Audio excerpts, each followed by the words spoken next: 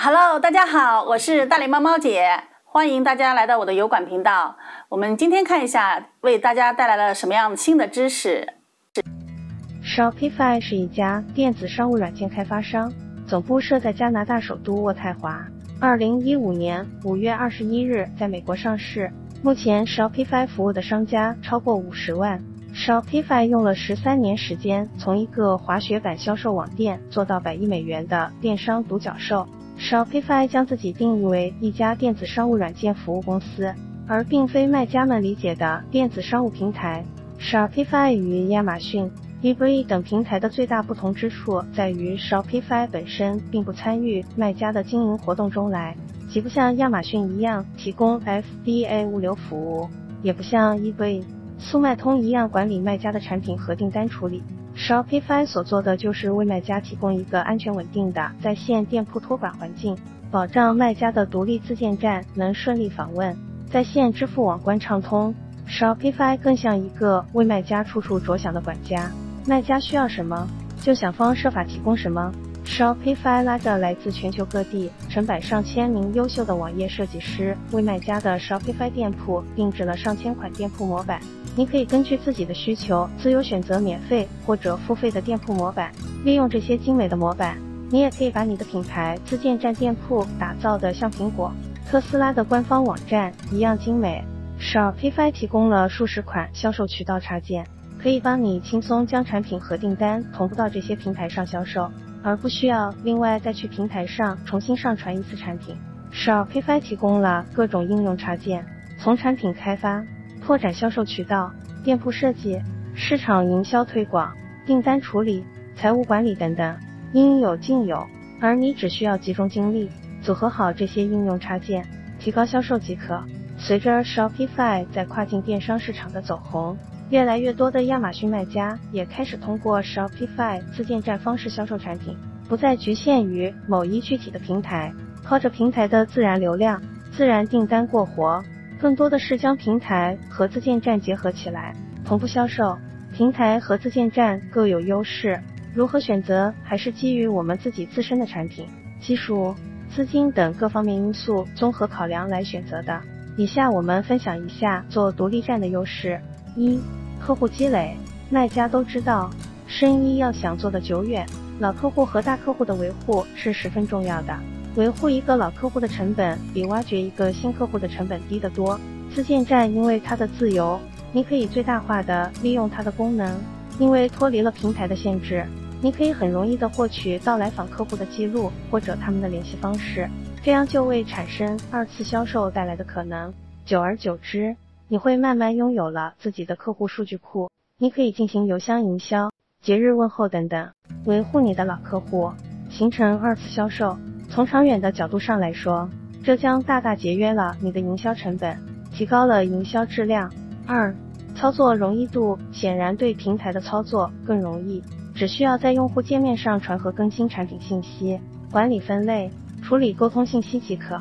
而自建站则涉及到一个相当长的工作链，从建立网站开始就会面临包括网站维护在内的一应大小技术细节，然后还得做网站推广、SEO。数据分析等，才能让自建站的效果得以充分发挥。任何一个环节做不好，都会严重影响营销的效果。用户只需要理清网络推广的链条，具体技术工作可以全部外包，自己不需要参与任何技术细节，只要维护好自己的产品信息和客户信息就行了。三、竞争强度，由于平台上卖家众多，基本上是无差别竞争，要获得客户。除非有无法替代的产品特点，否则就只有拼价格一条路。这条路也是慢性自杀的路，利润越来越薄，新客户越来越少，高竞争强度的必然结果。如果在产品方面没有出现奇迹般的升级，那就是慢慢自杀路。而自建站具有充分的优势来展示自己产品独特的一面，配以恰到好处的场景，有煽动性的产品视频，已有客户展示等等。营销素材可以得到全方位的应用，即使客户仍然有回头去平台对比价格的可能，但你留给他的印象是平台产品所不能产生的。